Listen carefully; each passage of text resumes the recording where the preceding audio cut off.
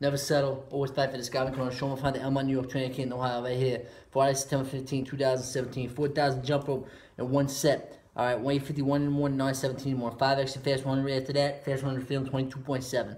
Um, I'm going to do sprint workout, routes, upper body, bike, run, ghost ladder drills, um, probably sled and parachute track workout.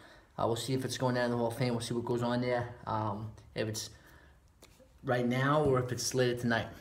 We'll see what happens. Carve your heart's not marble. Be a leader to those who can't.